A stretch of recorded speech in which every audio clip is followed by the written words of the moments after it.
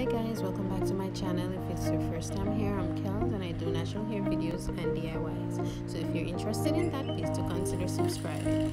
So today i'll be showing you guys how i use coffee and rice water to make an amazing hair blend so just continue watching.